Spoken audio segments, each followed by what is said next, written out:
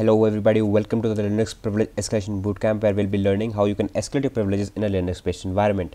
Now in the previous video, we learned about how you can escalate your privileges if the etc password and the shadow files have been misconfigured.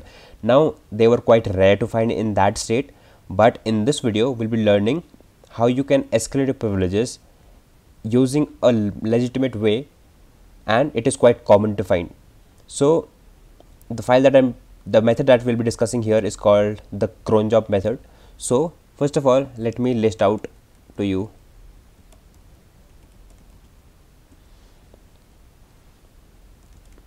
cat etc cron tab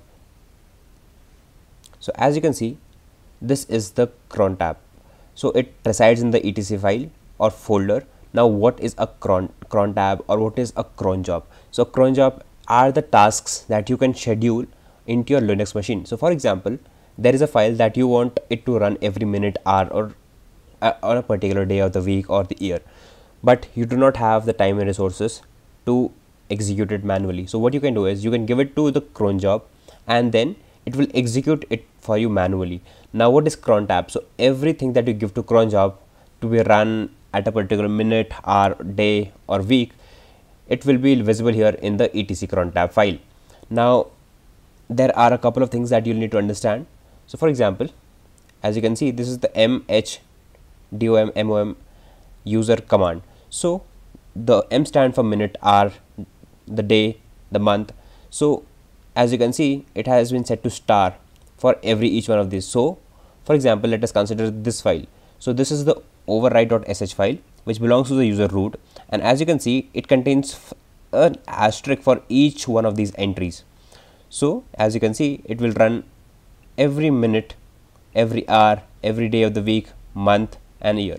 So this file is supposed to run automatically every minute. So let's just check this file out first of all. So first of all, we will need to locate this file. So we'll be doing that with the help of locate command.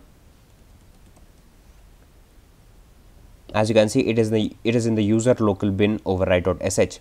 So let's cat it out cat user. Now as you can see this is a bash file. So over write.sh.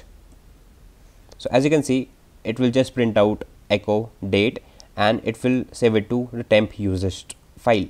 So let's just see the permissions that we have for that file user local bin overwrite.sh. Now as you can see though this file belongs to the user root it has write permissions onto it.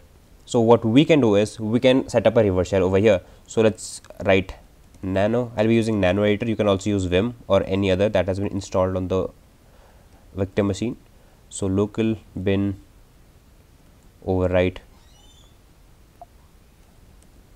dot sh now what i'll be doing here is i'll be using payload all the things. Reverse shell.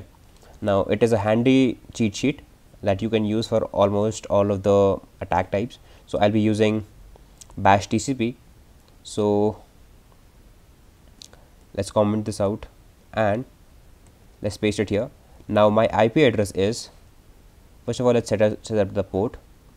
I'll be using the port number as 1234 and i'll be changing this IP to 10.9.144.115 let's save it. And in the new tab let's typing nc tag l1234 now I'll just be waiting for a minute and let's see if we get the reversal back.